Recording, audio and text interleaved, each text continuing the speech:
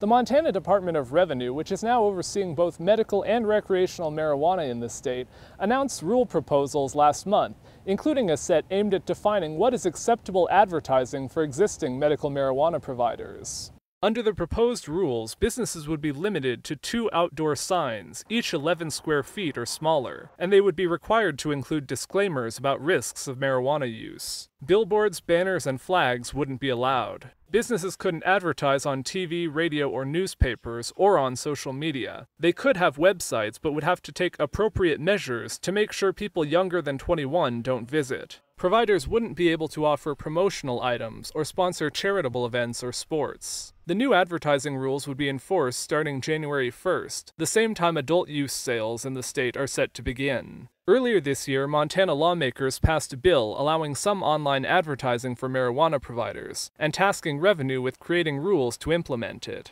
J.J. Thomas, who owns the Higher Standard chain of dispensaries, said he saw the department's proposals as putting too many obstacles in front of marijuana providers. We're already limited on things we can say, images that we can use, the way websites are accessed, as far as signage on your buildings, and you know all this stuff. Like we're already following a very strict guideline for all those things that already makes it really hard on businesses to succeed in general. There will be a public hearing on the proposed rules in Helena on August 13th.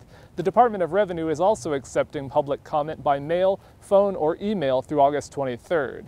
In Helena, Jonathon Ambarian, MTN News.